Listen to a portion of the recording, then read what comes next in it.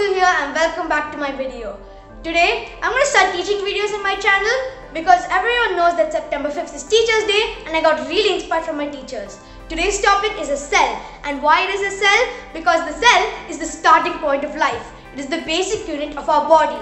Just like the cell is going to be the starting topic of our videos. So without further ado, let's get on with the video.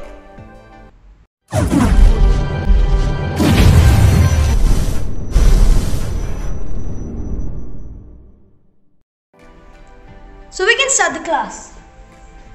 This is how a cell looks like and I'm going to show you how this tiny cell becomes an organism. So let's consider this cell as a brick. Many bricks together form a wall just like many cells together form a tissue. Many walls form a room just like many tissues form an organ. Many rooms form a house just like many organs form an organ system and we all know that many organ systems form an organism. Uh, organ systems like nervous system, digestive system, respiratory system, etc. So here we have a plant cell and an animal cell. Now you see the plant cell is green here. No, I do not color it green. It is because it has this thing called chloroplast.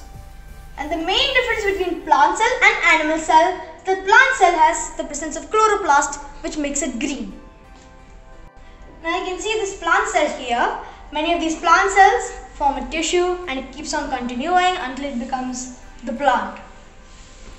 Now you can see the structure of cell. Oh wait, by now you're wondering who discovered the cells?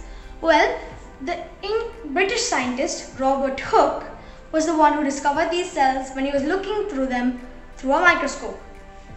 Now, you're seeing the cell and you're wondering what is the structure and what is there inside the cell. Well, that's the topic for the next video. So, hope you like this video. Don't forget to like, share and subscribe and tell me down in the comments how you felt about this video. And stay tuned for more videos like this. Also, a big thank you to all the teachers out there. Happy Teachers Day to everyone who inspired me. And also, a big hats off to all the teachers. Thank you and bye bye.